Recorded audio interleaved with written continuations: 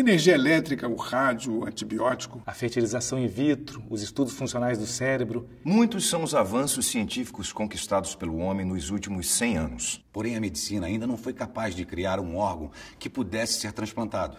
Para muitos pacientes, essa é a única esperança. Isso aconteceu comigo e pode acontecer com qualquer pessoa. Cada um de nós pode ajudar a salvar muitas vidas com pequenos gestos. Para nós, profissionais de saúde, basta um telefonema para a central de transplantes do seu estado, sempre que estiver diante de um paciente morto. Informe-se.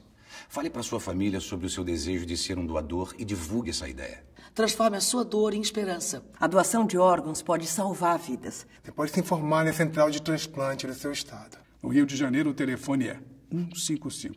Para cada doador, são vários os pacientes que são salvos. Ligue 155 e tire suas dúvidas. Doe vida.